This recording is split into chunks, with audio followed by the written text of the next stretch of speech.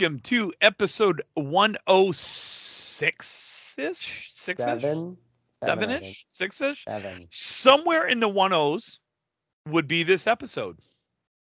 Yippee. I am your host. My name is Tim. With me today, uh, we're going to start up north. Uh, he is the king of Moncton. Uh, he is no longer king of the north. Um, Why not? I don't know because I'm going to go queen of the north or something. I don't know. Wow, it's kind of mean. Cut. Considering that's- we have yeah, a king wow, now Tim, and you're- not a queen. You're so- spicy now, homie. What's going on? All right, king of the north, Calvin Locke, Thank you. Locke, Damn straight. and down south because he is I south of me. technically am south of you by a mile. technically you are south of me. Uh, the Coastal Crusader, he is the king of the south, Mr. Brian Athern. Yeah, hold on. Oh, that's something in my back here. Oh, oh, what is it? Oh, oh, oh, oh, oh, oh, oh, oh. Hey, what's going on there? Tim? Oh, look, and Oh. he's got he's got his friendly pussy cat with him. Why That's is there right. a cat in your back? That's Because she likes to sit in the small of my back in the computer chair for warmth. Oh, that's She's Tim so- understands how it is. I do. She's cute. She's tiny. she she's a kitten. She's only about 16 weeks old. Oh, look at her. Oh, and 17 she's weeks gone. old. Yeah, and she's gone. Her sister's around here somewhere. Uh, Oh, they're on the bed. Yeah, they both are now.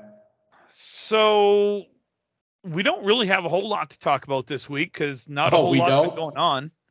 no, nothing happened. No. Yeah, no, no, no, no. Let's talk sports. So I really hope Oh, I- Anybody bowl last week? I, I really hope that people can hear Calvin because I'm struggling to hear Calvin again. can you hear me? It's a little low on my end. It's yeah, it's low. Can you hear me now? I can. Okay, it must be it's muscling up against my sweater. Hold on, ladies. Don't lose your shirts.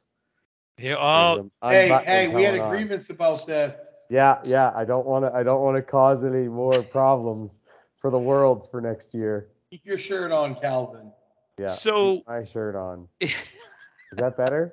I'm just trying to make it so it doesn't rustle up against. no, it, I I can hear you better, but honestly, Yeah. you were you were muffled. Um, I also barely have a voice. Could be what it is. Too. no, it's t- it. I mean, my today is the first day I've finally got a little bit of a voice back, uh, which is great. I know a lot of people are super sick. Yeah, there's some sicknesses. Yeah, Uh, As hey, we were all in the same building for at least thank God that it was warm out. Most of us went outside a lot. it was very warm last week bowling. It was. It Oh, was it's very- so hot outside. Holy smokes! Yeah. outside. Um, You know what I've For- noticed? Bowling alleys never have windows. never what? Windows. Well, they're like a casino. They don't want you to see what it's like outside. They want you to stay inside. Yeah, There's windows there. not really. Yeah, on the on the sides. There's windows out in the back, out in the back area. It's always so bright on the sides, even though the lanes aren't on. Um, first things first, I do want to uh, thank all of those that reached out to. Uh, I'm going to speak on behalf of Calvin and Brian, and they didn't realize I was going to do this. Uh, all of those that reached out to us for our for our episodes, the last couple of uh, uh, episodes where we focused a little bit on mental health. Um, I, I I appreciate the feedback. Um, I appreciate people reaching out and checking in and just um, people I didn't realize that listened to the show that actually listened to the show. Um, so it was it was nice and and I appreciate it. I don't I, I don't know how this is going to come out, but I'm going to say it is I don't do this for the accolades. I don't do this for the thanks. And I especially don't talk about my mental health and the struggles that I've gone through for anything other than trying to help people um, and that's something that I've only recently started to do uh, because I've I've hid um, the mental health uh, mental health aspect of my struggles for many many years. Um, so it's it's I, I'm not gonna say it's nice to hear other people struggle because I don't want other people to struggle. Um, Nice to know you're not alone. yeah, I, I guess that's the, the, the best way to put it. Um, so thank you to all of those that have reached out. We will not be done speaking on that subject. Um, you know, we will continue uh, periodically checking in on that subject and and talking about it in between laughter, in between other things. Um, this week, though, we Especially in our game. got a lot of things to talk about. This week we can all barely move. Yeah, I'm a little sore. You know what? I'm pretty good. My hand hurts. Oh yeah, my finger. I don't know. It's Yeah. pretty. It's pretty. Yeah, that's that's mine from last week. We all have the giant blown open calluses going on. Oh yeah. There's a lot of. I, I don't know why, because I threw less balls than I think I ever have at Worlds, but Um, overall thoughts. Let's, uh, Calvin. I'm going to start with you. Overall thoughts. We're going to start with the men's worlds, uh, which was held last week down at uh, the fantastically run Academy Lanes in so Haverhill. greatly run, so fantastic. Uh, And I and I Awesome do not say that I do not say that Yeah. facetiously at all. Uh, I think Teddy, Josh, and the entire staff of Academy Lanes and uh, was it Pub One Twenty Five? Um, those bartenders, they work their butts off all week. you We know, got the milk. That's how.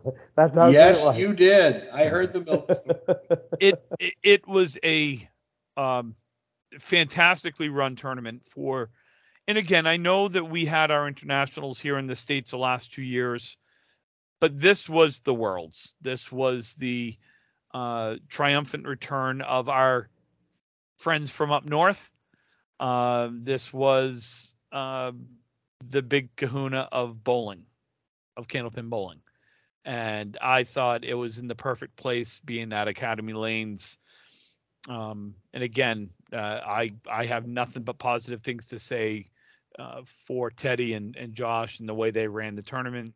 Um, It was great to see that big, beautiful trophy back. Even if I was. still can't touch it, um, but it's beautiful. Pinfall was pinfall was Cool. normal Academy pinfall. Pinball was fun. It was. It was interesting. Sure, that's a good word we'll use to we were it. we were talking about it, and I said I don't think I've ever seen the seven, eight, nine with no wood as much as I have. It was. It I popped just the one three on a pocket hit, literally just just the one three. Nice. I've seen the one, two, three once. Danny Harris plucked out the one, two, three. I said, well, I that's saw the cool." four ten a number of times. I saw the most impressive thing I ever saw, and it was in the match against Tim. Josh Daly rips out the three nine and the two eight at the exact same time. The full Worcester. Hold on, hold on. The full Worcester, but he left two pin, two pins on the plate. Yep. The two eight were still on the plate. Did the ball come back and take the two eight, or did a pin. pin, take the two eight? Pin. I think the I think the pin so I think what happened was he he blew it through the half Worcester right. And I don't know if it was the three pin or the nine pin that came off the curtain up and over and took out the Two eight. The Eight, eight. the and eight two. the two. Yeah, and the eight fell forward into the two. Then. And It then the was- two nestled right into the head pin. Oh, Yeah. It went from probably four to six on his strike to nine on his strike and a 10 Yep. box. um That was so. I, Calvin, I'm gonna uh, I'm gonna start with you on your thoughts on the week itself. Um, and then we'll get into actual scores and, and whatnot. I mean, logically, I loved it because we got the nice division where we had, you know, our one competition ended up being the champions, of course, but our only competition in that side was the champions of the tournament. So it was, it was really good. Like it was a good week. We did, we barely had to fight for the buy. It was super easy. I All right. So Brian, So when we went into Friday morning, we knew our match was going to be super easy, and we were just like, ah, we just take eight off the first team, and then we take six off the next one, and we got the buy. It's pretty simple, and that's you know, the story writes itself. so I We can't some- say anything. I was in the other division. we had some bald old guy and a bunch of kids, and it wasn't too hard. That bald, that bald old guy hurts oh, today. Oh yeah, Yeah, he looked like he looked like he hurt that match too because it wasn't pleasant to watch. Did I even bowl that match? Yeah, you bowled the second and third string when you guys were already down hundred. Okay, so I And didn't the third, start. the third string you almost won, but Yeah, it was well. tough. It was. All right, no, fair it was a enough. good. No, it was a good week. Um, I found, of course, pinfall was. Sometimes you're on a roll. Like I think, I think there was. The 190 something. And then maybe like a couple 180s. I looked. I looked one at one time because we were trying to figure out how our averages were looking for the week as a team, and there was Gwinnett or Sam who had the 192 and the 400 or something like that. And then from his average to the next closest 400, there was 35 bowlers. So there was 35 bowlers who were higher than a guy who had a 400 and did not have a 400 the entire week. Wow. So it was it was just you could tell that the pinfall was rough. You could tell that you know when you got a break, you were excited.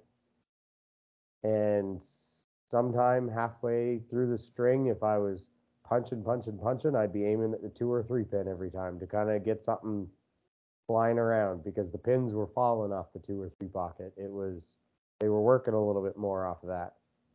So, you know, it was good.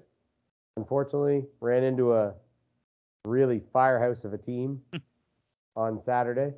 They came out the first string. Well, the first string was pretty close until the last couple boxes when Justin threw a double, uh, Justin Waters, and uh, they threw a couple marks, and Jeremy Seaholm to finish with two marks. It made it kind of a little bit more distant. And then uh, the second string, when they started out 16 out of 20 marks with Ouch. with two sets of doubles, Ooh. and I think there was spare. so it's eight- really 18 out of 20 at that point. Well, yes, at that point. So it was just they just cruised. Made it close in the end, but yeah. So overall it was a good week. I enjoyed it. I don't have any complaints. Food was incredible. Service was incredible.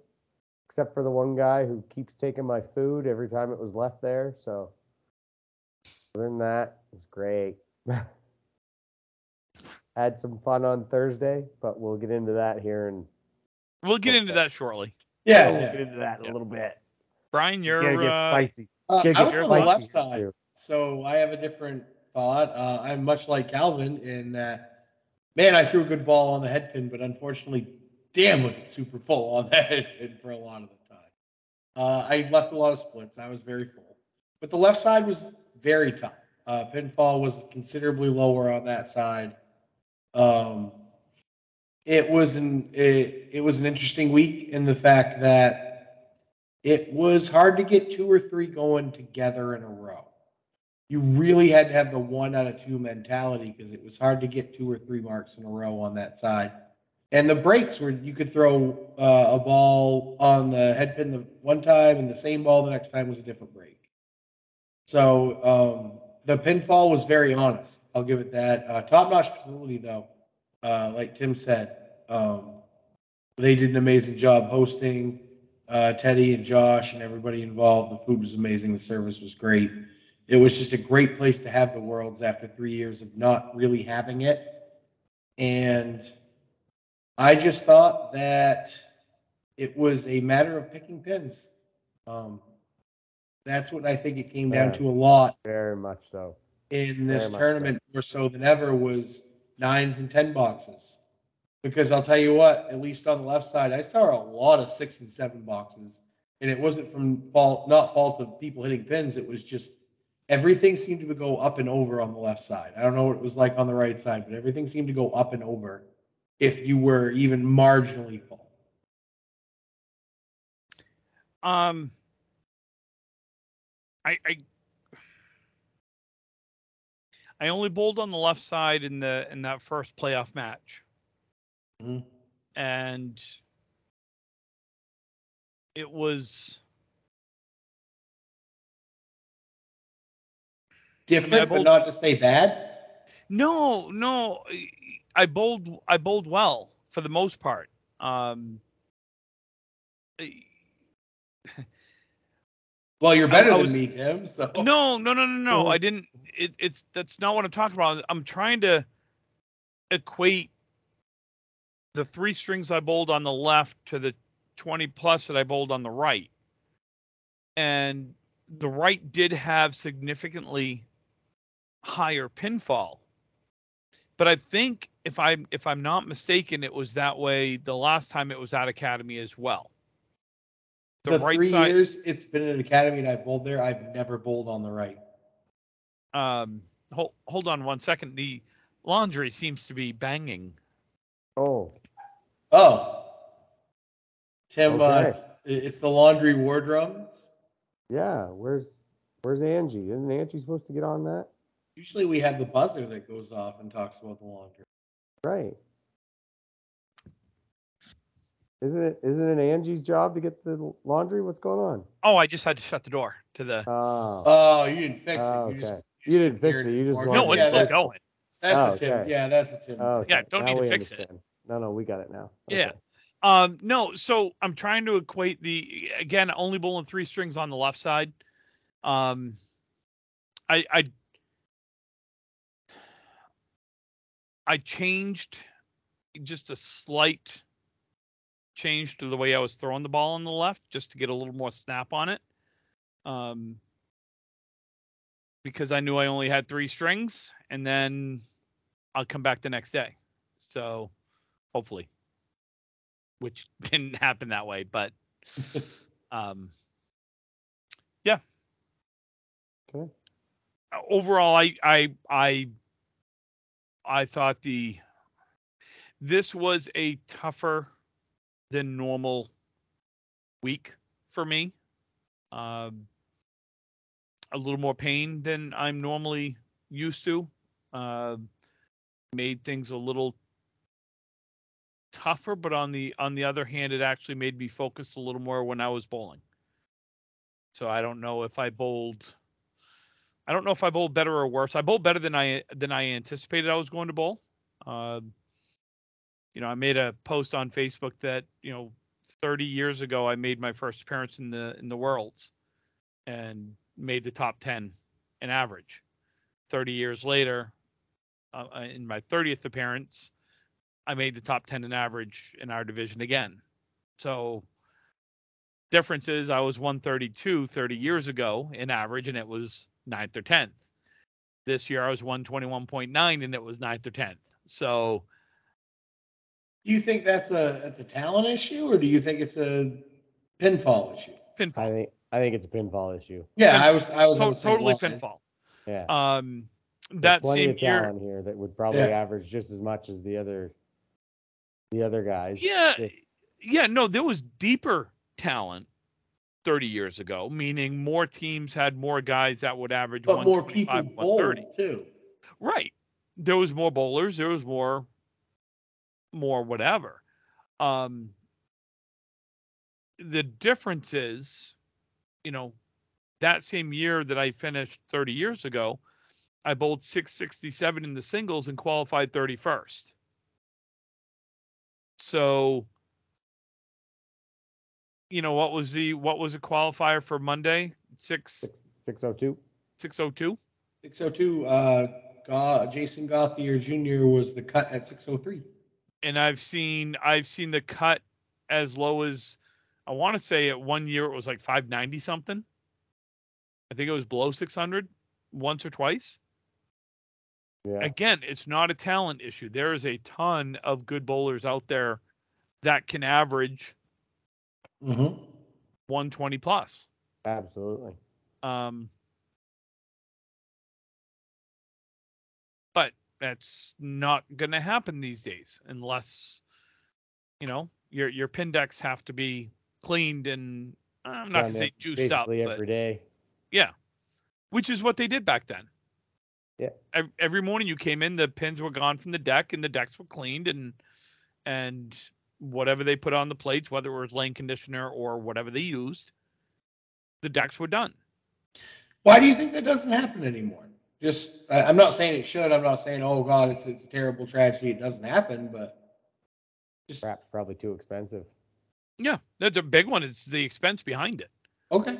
Um, I'm I, not trying to like No. call out alley owners or anything. Nope. I'm just saying, I- like you know, I think the biggest the biggest thing is the expense behind it because 30 years ago it was inex- relatively inexpensive to get a five gallon bucket of lane conditioner and you would fill up a spray bottle and that's what you would do your appro that's uh, your decks with that five gallon bucket would last you several months and then you'd get another one now you take lane conditioner price. and it's 10 times plus more expensive i don't i don't begrudge the the owners for I'm not uh, either. I'm not trying to nope. say I was either. no no no i don't I, I don't think anyone took it that way i'm just saying that that's what i've that's what i've seen um you have some places that just don't care i'm not going to call any names out but we all know those houses they don't care they'll never do the plates they're never going to do the plates they don't care Some of them take pride in not doing their plates. well that's fine you know um but again as far as this as far as this past week goes um i was just happy to be all together again um Yeah, it was it was great Very to see much. everybody. you know match wise it was uh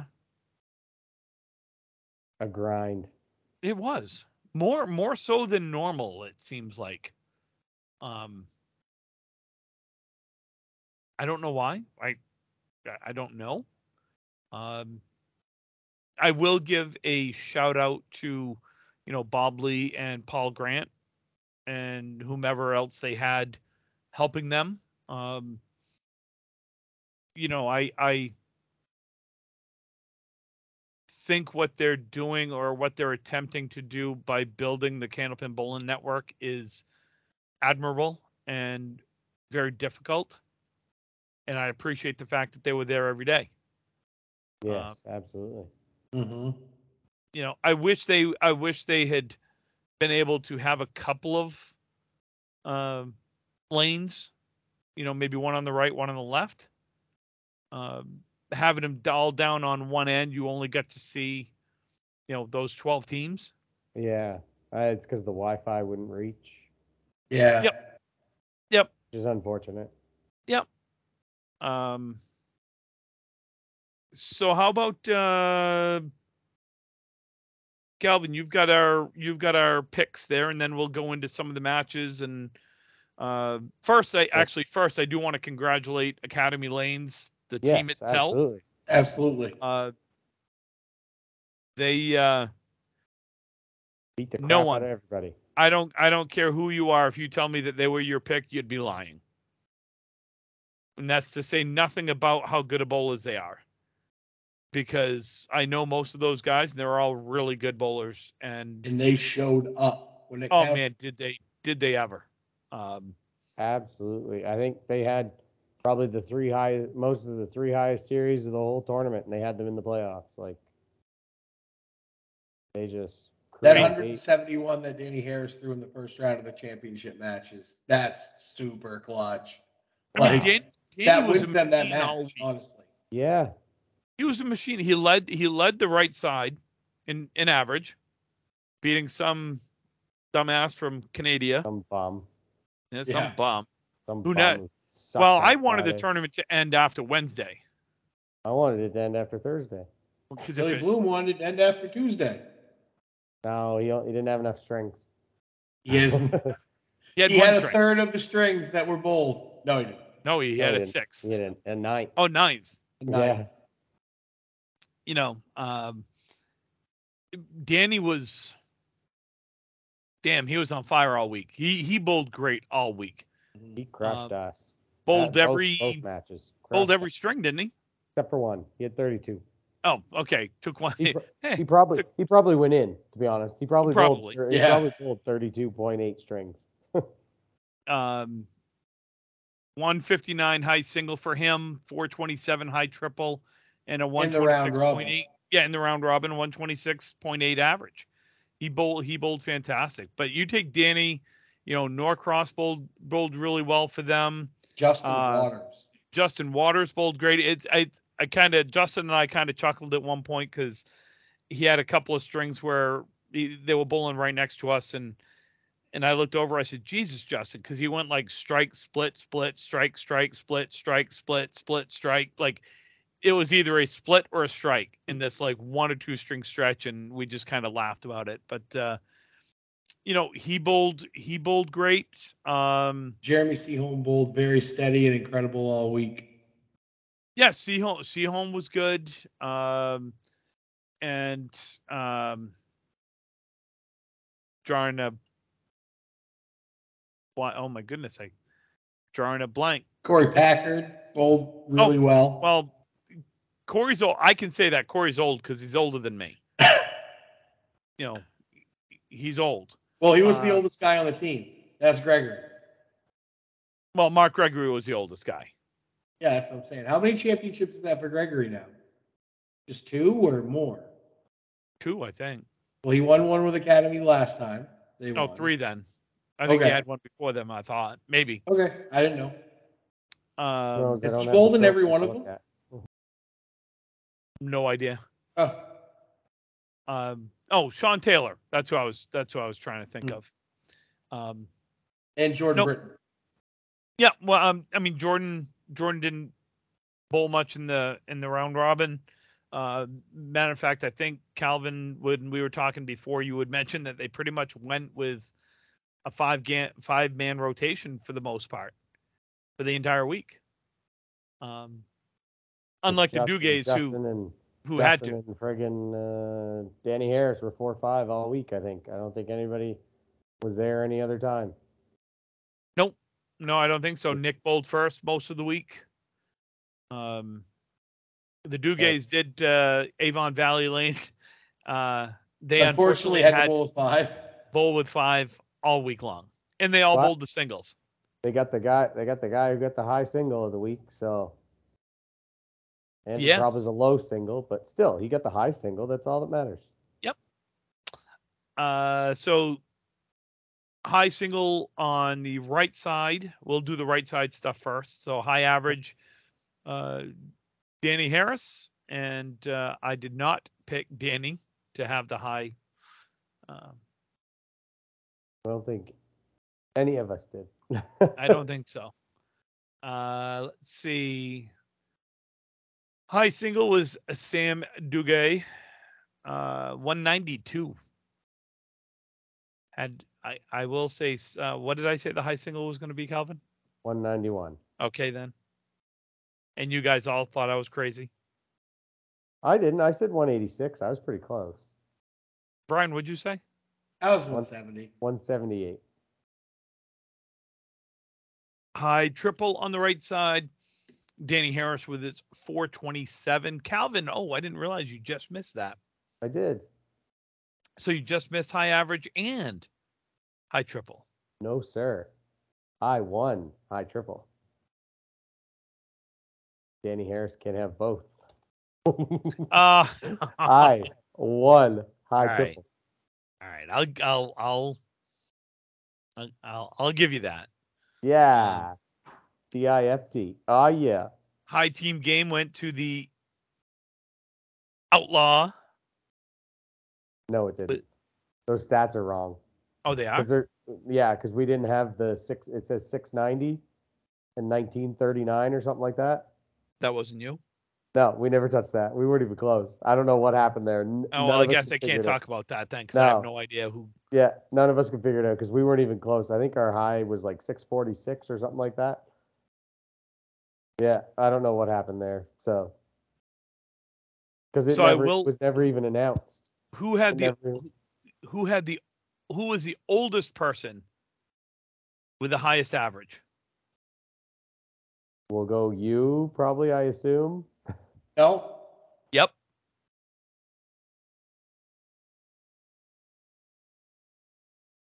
You're not. I'm sure you're not the oldest of the tournament, but you are the no. of let's say, 50 plus, who had the highest average of the 50 plus. Yes. I know. I just looked down through the top ten on both sides. Uh, Bob Wickham was number seven on the other side, but he was one twenty one point five seven, and I was number nine on our side at one twenty one point nine oh. Good job, bud. Crushed it. Crushed it. I it would for like to guys. see. Uh, there's a few things I'd love to see in the World Series. I'd love to see an all left-handed team. That would be fun. I would like to see a match between the uh, the seven oldest guys against the seven youngest guys. Just We can see make that happen. I'm sure we can make that happen. Well, are you talking the seven, seven oldest guys that are still bowling, or the seven oldest guys that are on the roster? seven oldest guys are still on the rosters. That the younger the young guys would win Why? Because have you seen the rosters to see who the old guys are? Well, you're one Uh, of them. you'd still have Holbrook. I'm not in the I'm not in the top ten for for age. I said top seven. I know I'm not even in the top ten for age. Oh, well then you're not bowling. So what's it matter? Uh, let's see. On the left side, high average, and he was also high average for the tournament. Matty Bum with a 127.39. He's Matty Bunn. I wonder. I wonder who chose him to be high average for the tournament. Calvin. Uh, Tim Dodaro, that asshole. Tim did. Okay, just wanted to see that if that was there. Did you want to know Uh, the average you picked too? Considering you didn't want to flaunt that. Yeah, what was the average I picked? Yeah, one twenty-seven point three. and what was it again? Yeah, one twenty-seven point three nine. We get it, Tim. we get it, Tim. You got lucky once. Twice, because I said the high single was going to be 191 and it was 192. Oh, I know, but you got lucky once in your picks, like one time all together. You got Oh, lucky. okay. I remember last year's picks, and it was not even close. I don't remember last year's Mm. picks. None of Uh, us were close on last year's picks. So that means the high individual game went to a young gun. Uh, Charlie Collins with a 166 had the high single on that side, and the high triple cannot go to Maddie with a 446 because he won the high average. So that would mean the high triple on that side went to uh, some other random dude off the street, Jeff Surratt. I don't know if anyone's heard of him. Yeah. The mom. Yep, he's a bum. Uh, 420. Ah, I beat Jeff Surratt. Yes. Better than Jeff. Hashtag. Uh, lucky strike uh, in the regular standing absolutely went. I'm saying it fucking ballistic. yeah. 84 and four. They lost. Is that the best record ever? No. 86 and 2 was the best. 86 and two, I think. Um, Nobody's gone undefeated. I was ta- I was talking to them thir- I was talking to every one of them Thursday morning. I said, I hope you guys go undefeated. I hope you go 8 0 in the in the semis when you beat it. I hope you guys are up like 70 pins going to the last string and you lose by 72 just to be oh just my to- God. So the New England Patriots, uh, the New England Patriots crush season when your they went hopes undefeated, lost the Super Bowl. That, Yep. that style. but they did go 18 and 0, which is much better than the Miami Dolphins 17 and oh. 0. Still didn't have that trophy though at the end. I I'm just saying. I didn't say anything about the trophy. Um. But yes, congratulations to Lucky Strike. That was an incredible week. Oh yeah. Just demolished everybody. Yep. And Uh, especially especially at the start of the week when everybody said that was the harder division, for them to go 84 and 4 is Yeah. well, I think I think if you if you look at on paper, Oh, I I know my opinion. I'm just saying what everybody said was yeah, congrats on the easier division. And I'm saying no. The harder teams were on the left side, but the harder division was on the right side because on the left side you had Maria's A plus and Lucky Strike. And then Theoretically, they all beat up on each other, and it makes Right. the divisions a little tighter. New Then, if you have a couple runaway teams on the other side, assholes maybe like you know after that you don't really put any playoff teams but on the right side you had academy you had us you had prices you had uh, bowling ball mafia you had uh, i think there was one or two more i think there was You had mass holes. Able Uh, you had Able. like able equipment?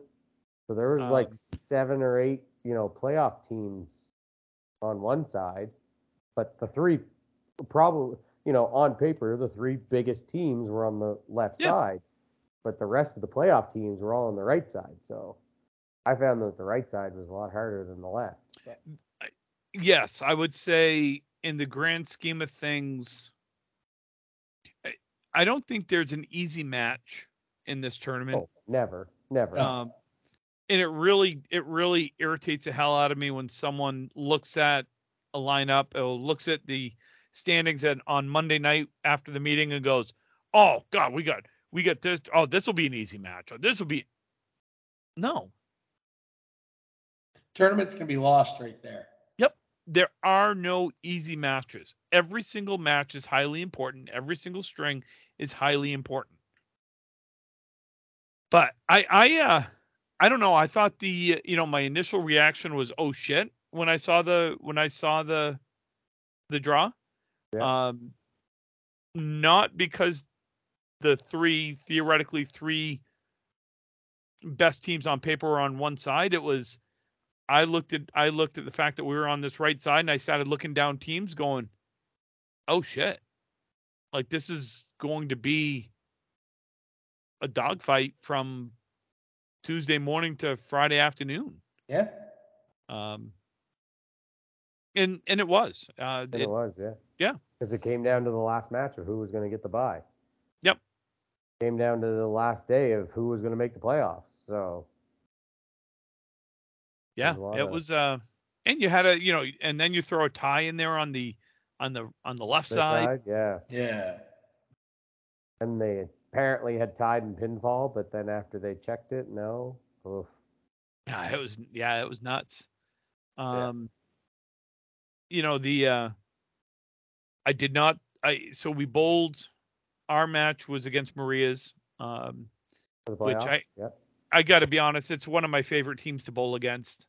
Uh, I, I there is not one person on that team that I don't like or respect, um, except for Fuller. I think he. I'm just kidding, Fuller, because I know he's listening to this. And I told him I would mention That Brian guy. Fuller Jr. on our podcast. That Yep. guy. I don't In want to fact, mention uh, that guy I. I, I, I got the pleasure of bowling Fuller one string in our match. Did you beat I him? beat him. I did, actually, yes. So I So wonder if they kicked him off already. They should have. I beat him 109, Hey. 108. Greg, are you listening to me? Kick him no, off. I'm just I s- it- being serious. So there, honestly, with that team, I I just have so much respect for every single one of them. I I find them to be. I find them to be the most competitive yet gentlemanly. They're consummate professionals Yeah. at everything they do. Absolutely. Yeah. Um, and our match came down to the last box, which is what you want in a match. Mhm. Um, we were down. They went. They went ballistic in the second string and threw a 670, 680 at us, um, which was highly uncalled for. We were having a friendly match up until that point. Um, and then uh, and then we started to bowl and you know came down to um, the last i mean the last two boxes uh evan was bowling anchor. Um i think we were down it was 20 something um he threw a spare in the ninth. He needed a double. There, there was no other way to do it. He had to have a double strike um in the in the 10th box. Um didn't throw the first one. Um and it was uh, it was all over after that but you know we made a comeback and made it interesting we went 18 20 and lost so i we didn't lose and that's what i tried to convey to the team is that we got beat and that's that's a that's a different type of feeling than Yeah. losing a match. Um, nothing you can do about getting beat. They bowled they bowled great. They were 18, you know, 50, something like that, 1840, 1850, whatever it was. Um, you know, so I That's gave I gave a run and and unfortunately it wasn't it wasn't enough to help the team spark the team. I had a spare in the eighth, was sitting on a spare in the eighth. Uh, Chris uh, Chris Harris comes up and throws a hammer. Hammer? No, nine pin drop. And throws a nine pin drop. He's on the right, and when the ball left my hand from my from my fill, I instantly thought I threw a strike. And then about halfway down, I went, "Oh shit," because the ball actually started tailing in, and I blew the guts out. I had I had three and four, um, spread eagle plus one, and that was I'm not going to say it was all over after that. He threw a strike on his fair and and I tried to match him and overthrew it, plucked out the half Worcester left, thought I made it. Instead, I took out the one nine on my spare shot. Fun time. Good times. Good times. Mm. Um, Good times. Yeah, good times. Yeah. You know, but again, they're just they just don't stop coming at you. Mhm. You know, Craig turned back the time. Um, you know, Bobby Witt is Bobby Witt. he would he went 390 something. You know, I was Wow. So he just He did was- Bobby Witt things. he was 390 something. I was 385, 383, 386, somewhere in that mid 380s, and Craig was 370, 380. So the three old the three old guys, uh, you know, Yeah. Well, that was the same with us when we bowled. Like, I, we're, you know, of course, of course, you know, we were upset that we lost, but we threw 1796. I mean, 1800, something like that, probably would have won six or eight points throughout the week. But we ran into a team that started out 640, then went 14 out of 20, I think, with marks with two sets of doubles. So we were down 102 pins after four boxes in the second string. And they were open seven times. So it was just like, there's nothing you could do. We ended up coming back, only lost by 50 pins or 60 pins, I think. And so, whatever, I guess. We lost. It sucks, but well, yeah, it does suck, Bold, bold, awesome.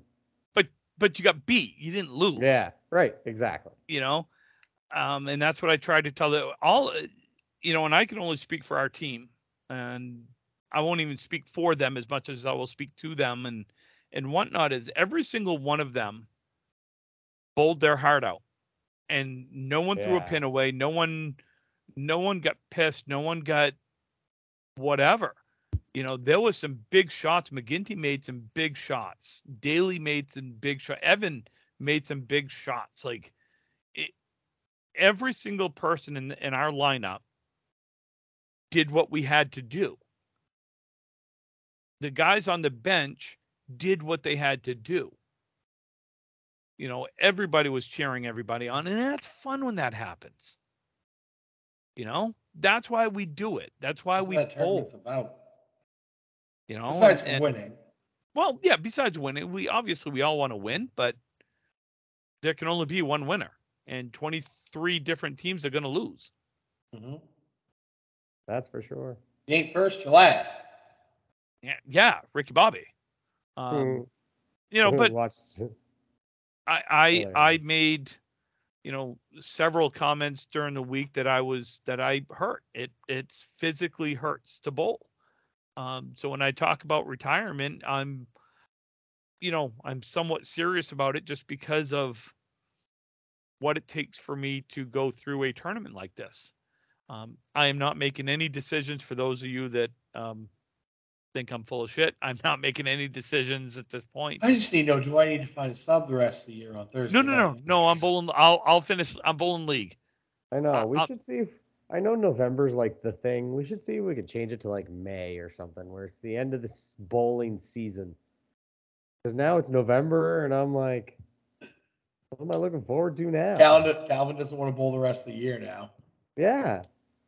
Like the big tournament's done. It's over. Yeah, you Five gotta That one am I looking forward to? Five sixty, Ah, but that's Pacha. two months. Pacha. I don't know. I'm kind of with Yeah. Calvin on this. It's like you go you go mixed worlds in June. You have the Can Am in June. You have Can Am in October, and the, you have the international mixed doubles in August, and you have this in November. And then between And then there's nothing. Yeah.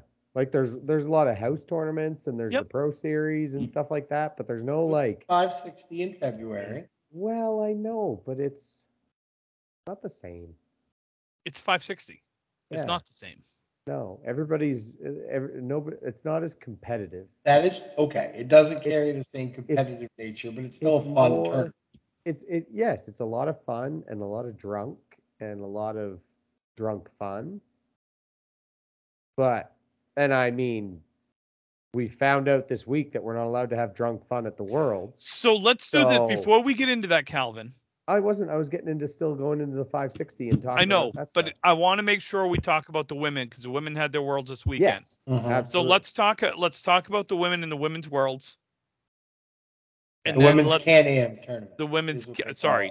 Yes, that's right. The women's worlds are typically in August. Oh, ladies international. Do they have a women's worlds? no, I I think don't it's know what they women's internationals. I think it's Yeah. like Can Am internationals. It's not. It's not actually worlds. They don't call it worlds. They call it I know there's the Can Am Can Am tournament and then the ladies international. Okay. right. They don't have a worlds. I think it's internationals, and then yes, what Brian said, Can Am. Okay. So.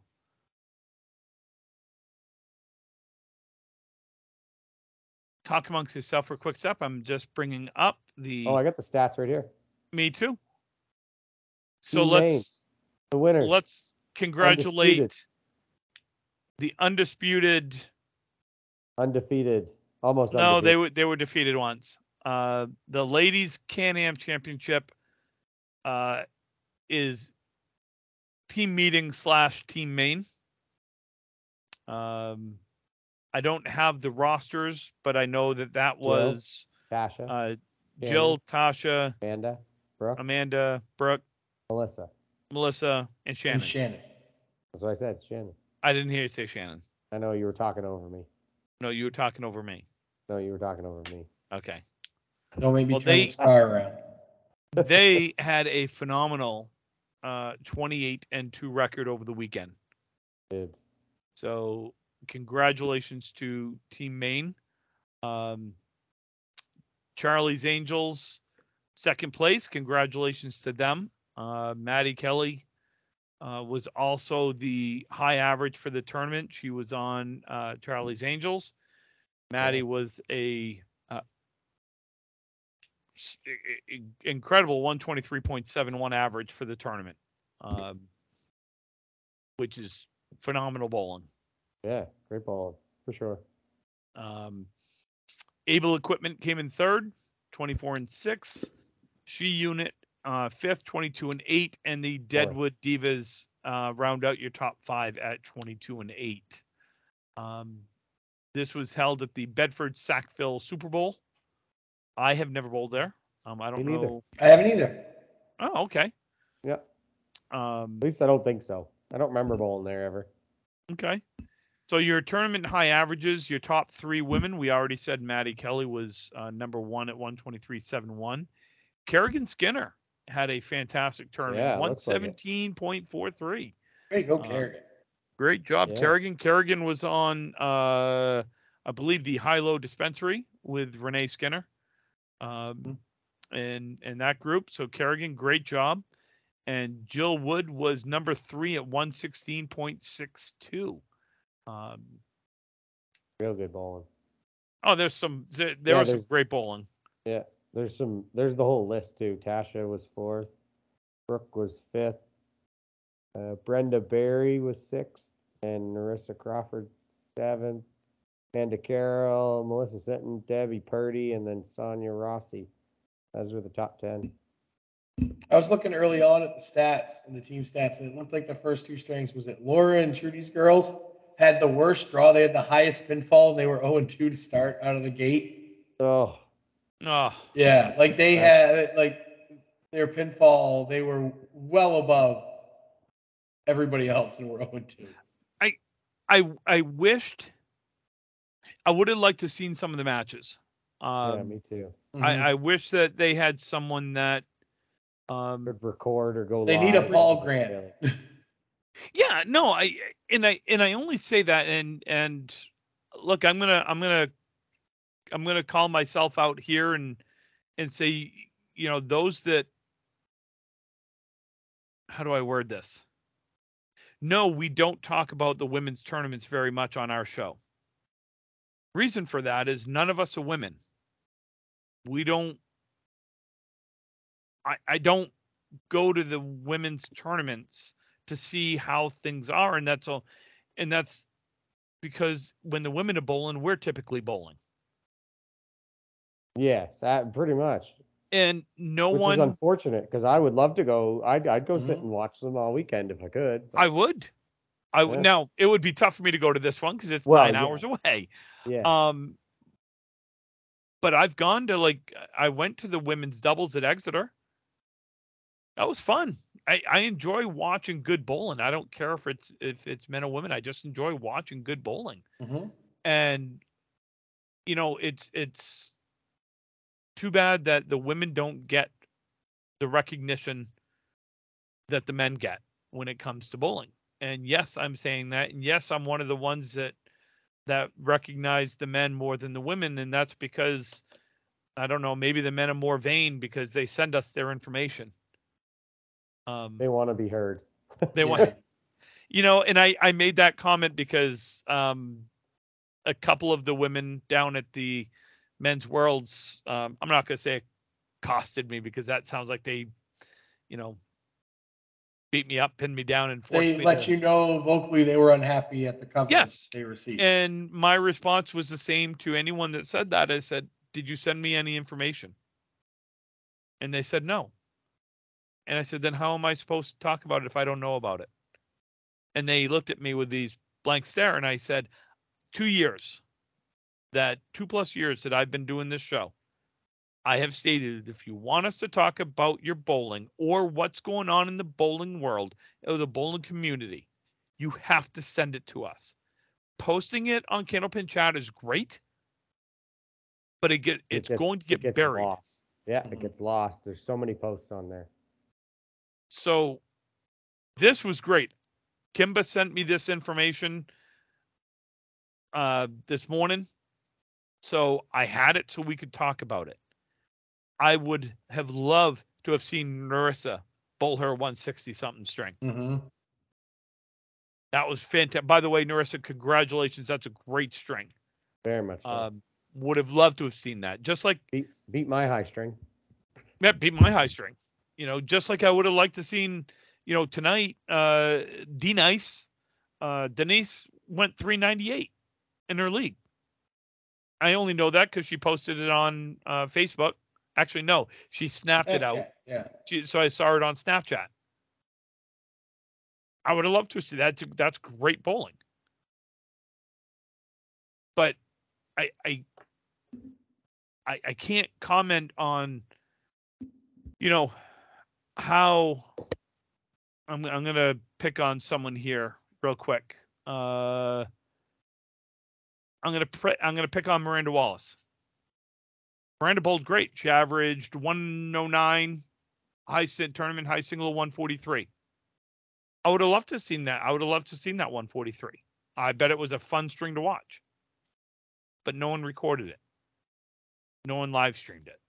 Some of that's on the fact that this was in Nova Scotia, this was in Halifax, and it's nine hours away from the States.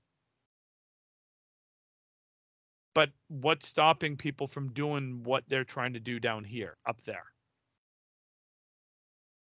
This is all it takes, folk, right here. You can do it with a phone. You set the phone up, you go live, and you can do it. Go Facebook Live. That's what we started doing. And then it's morphed into other things. You know, uh, Bob Lee took it to the next level, and Paul Grant's helped, and you know, Alachat's done their thing, and so forth. But you know, I would I would have loved to have seen Narissa's 160. I would love to have seen the fact that Maddie Kelly averaged 123, almost 124 for the tournament, and her high single was only 139. That's pretty steady. I mean, how consistent is that? You know, Kerrigan bowls all 14 string. Is it 14 string? Must have been Yeah, 14 14, strings. yeah. Averages 117 and a half. Her high single was 143.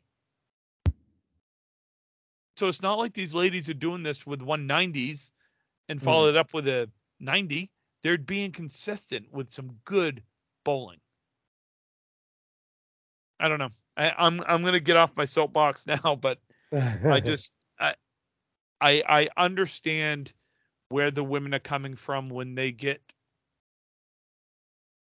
I I don't know if upset, irritated, whatever, with the lack of coverage of their side of the sport. The focus is usually on the bigger names. It's no different on the men's side. The focus is usually on the bigger names Yeah. for the most part.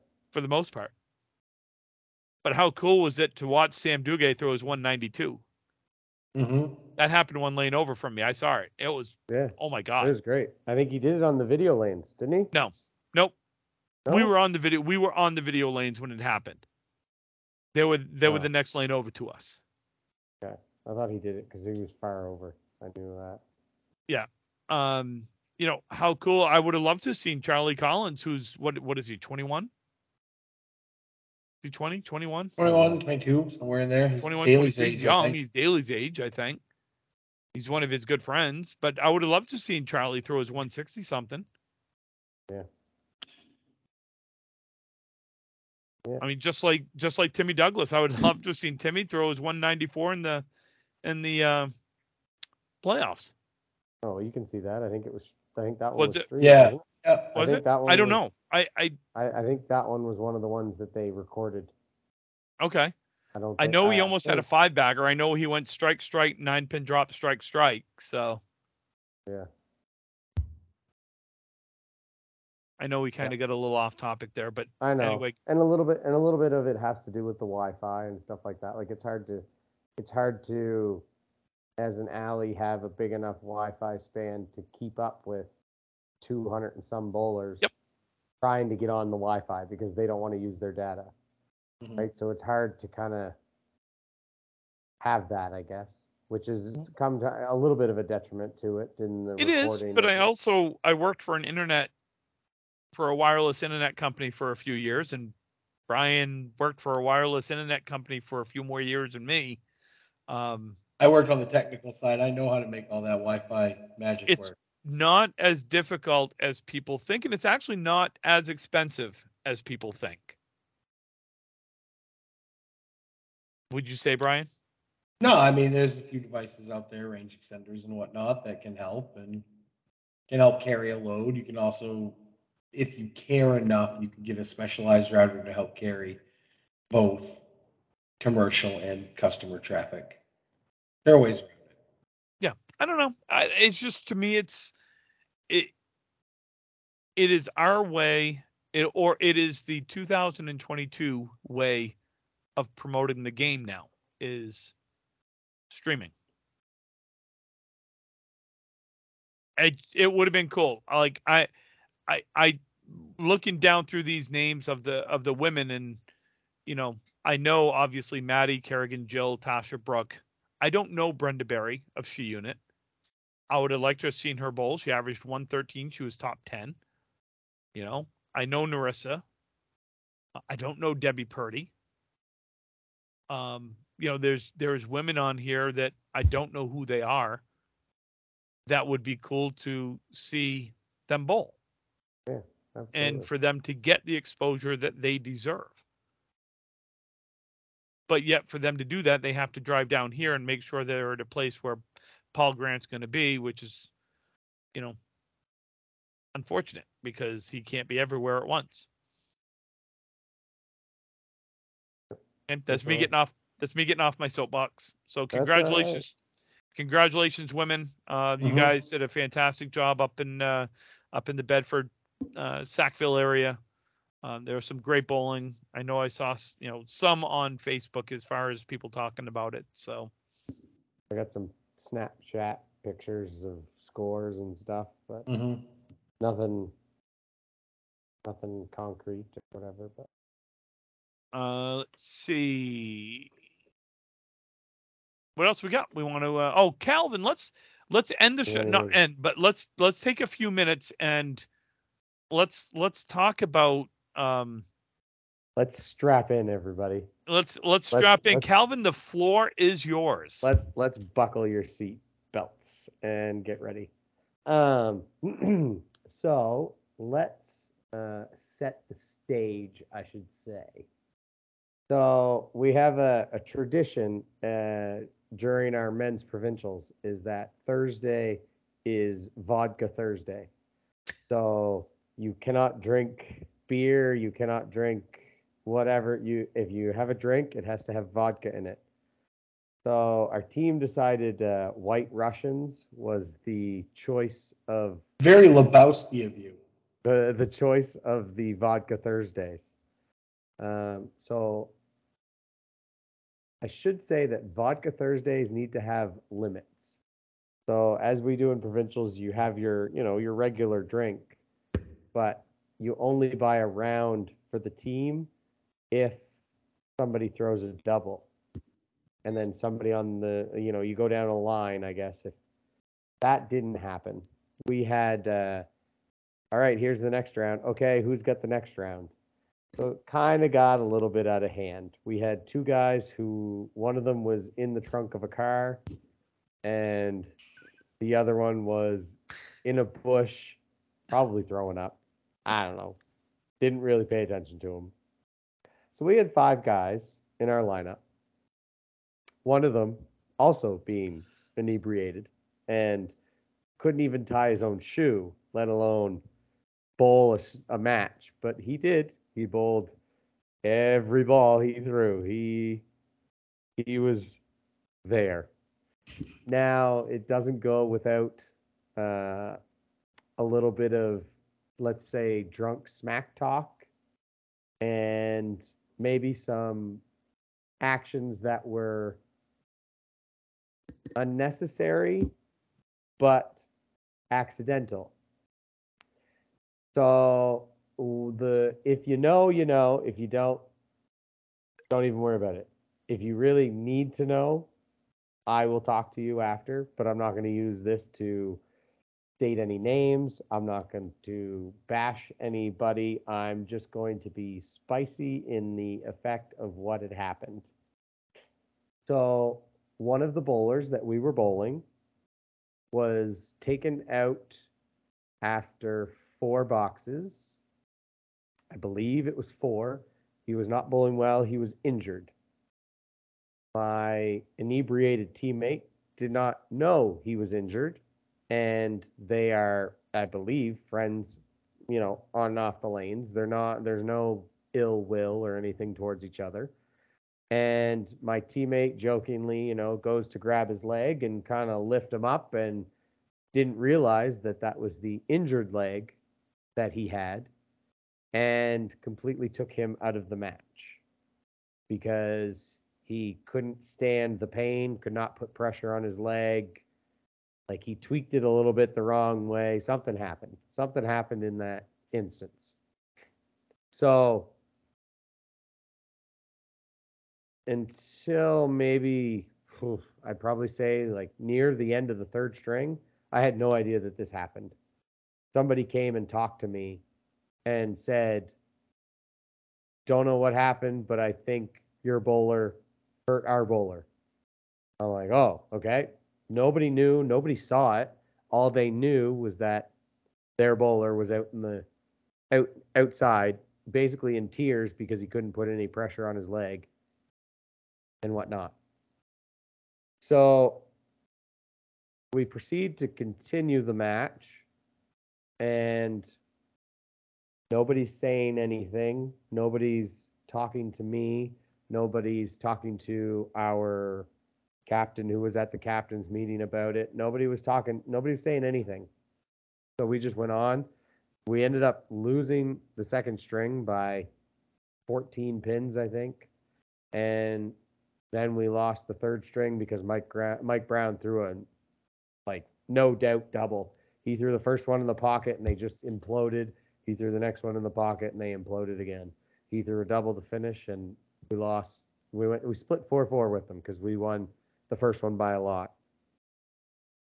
So the following morning, I see the captain of the team come over and say that they're filing a grievance against us.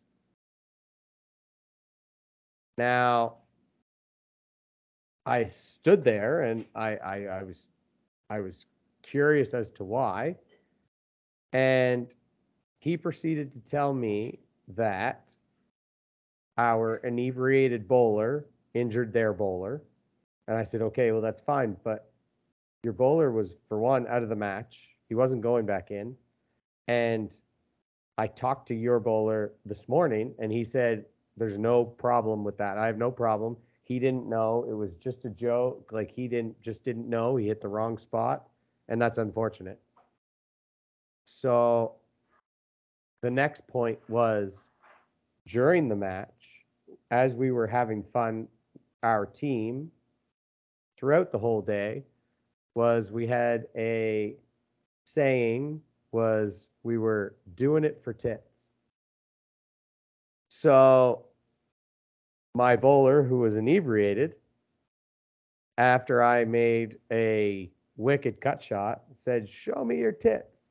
So I proceeded to lift up my shirt and show him my tits. Apparently, and I apologize to everyone at home if you were at all offended by that. But apparently, I was very offensive. And me being a face of the tournament and a face of candlepin bowling should not be acting that way. Sir, let me tell you one thing. If you have been to a bowling alley or anywhere in your life, there are bare chested humans anywhere. If you think me lifting up my shirt for a matter of 10 seconds on a live feed is offensive to you, then you need to stay home, stay away from a bowling tournament because it's just going to happen. People are having fun, people are drunk, people are enjoying the week.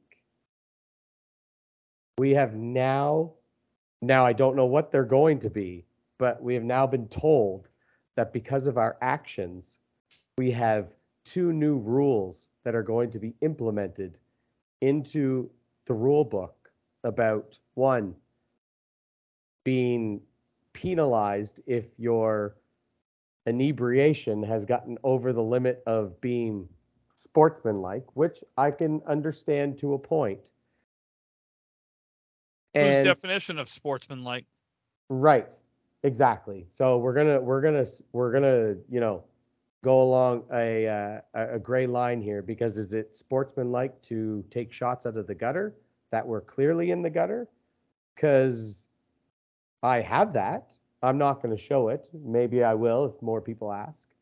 But clearly in the gutter, whereas the ball ended up on the other side of the lane and there's no way that the ball ends up on the other side of the lane when you're hitting a pin that is stuck or a wood sorry that is stuck to a pin it's just not going to happen your ball's going to go straight back unless it goes in the gutter and fires all the way over to the other side so what kind of sportsmanlike are we going to be talking about That's that's a discussion I'd like to get in. Mm-hmm. You know what? If someone can remember this discussion, our next podcast, let's talk sportsmanlike and what is, what isn't, so on and so forth. Because my version of sportsmanlike is going to be different than yours, Calvin. Yours is going to be different than Brian's. Brian's is going to be different than mine. ours are going to be different than Joe blows down the street. And I'm going to just say, like, someone like Mark Carrier, who owns a bowling alley, is going to be different than mine, who's a bowler. I, I'm sorry, but there, how the fuck do you legislate Right. what's sportsmanlike and what's not? Right. And I was then I was then proceeded to be told that I should have a better handle on my team. Are you telling me that you want me to tell a 35, 36, 37 and a 48 year old how to handle their liquor and how to do- no. No. I'm not going to stand here and tell somebody, "Hey, I think you drank enough." They're old. They're responsible for their own liquor. I'm not there to babysit somebody, nor am I there to control my team. I'm there to have a good time. My team is there to have a good time. We were short two bowlers, technically three, and even so, three and a half, because I was pretty well half cocked and I had smoked some today that day. So we had about we were had three sober bowlers and you lost four points. What was your goal when you decided to call a grievance? Were you trying to steal two points? Like, were you trying to get pinfall because you couldn't beat three sober guys? Like, are you, what was your accomplishment? Let alone the fact that you did it after the fact, the next morning, and you weren't even there half the match. You have no idea what was going on the whole match. You're just hearing what everybody else is saying.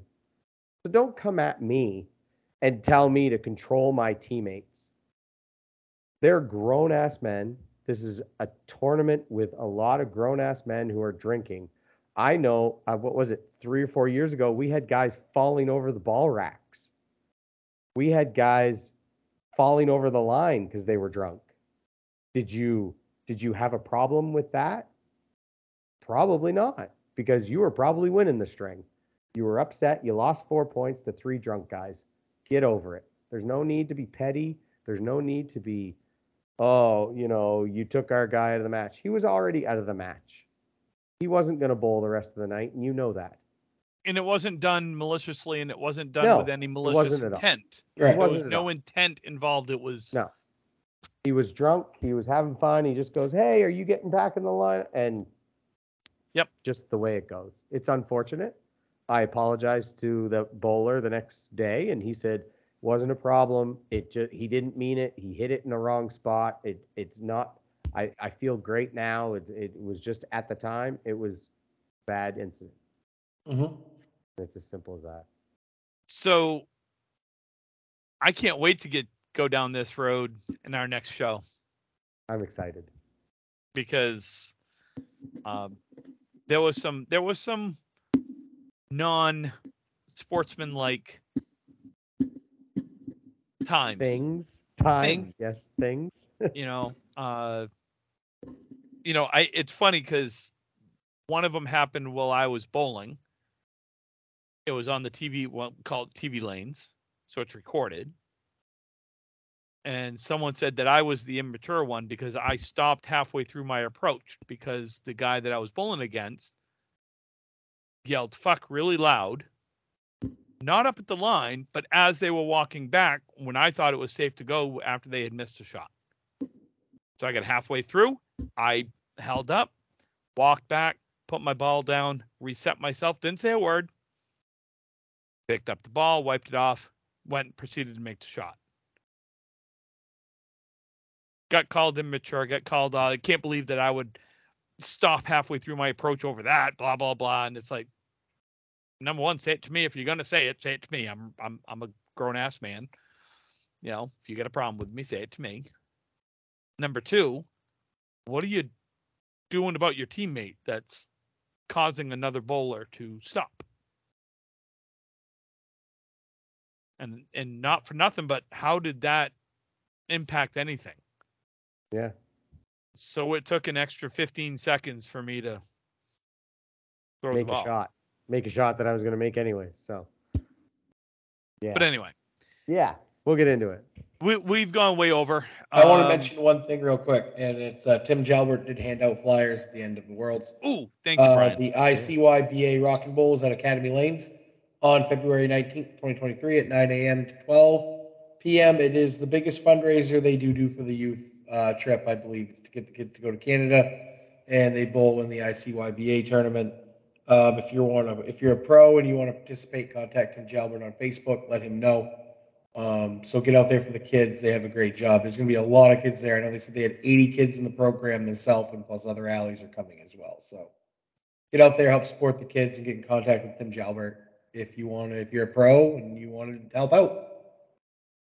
Cool. Brian, thank you for bringing that up. We will mention that again. That will not be the only time we we plug that. This is a really kind of a cool thing that uh, they do The for kids the. really look forward to it. Yeah. They have a good time. Yeah. It's really kind of a cool thing. So, uh, folks, please send us your uh, you know send us your questions, your comments.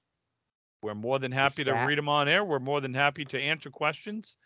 Um, you can reach us at ripping the rack podcast at gmail.com. You can find us on Facebook and Twitter at ripping the rack podcast. Uh, Brian and his dulcet tones will now inform us where else you can hear or see our show. Well, Tim, they can hear us at Anchor, Breaker, iHeartRadio, iTunes, Google Podcasts, Spotify, YouTube, and wherever else you listen to your podcast mediums. Very nice, Brian. Very. Would you like to hear my disclaimer as well? Yes, The, let's see. the a views and expressions of Tim, Calvin, and Brian are those of the Ripping the Rack podcast, and only those of Ripping the Rack podcast. They are for entertainment purposes only. And if you are offended, listen to something else. Okay. Love it. All right. Love it. On that note, folks, we appreciate it. And uh, we will see you guys soon. Titties.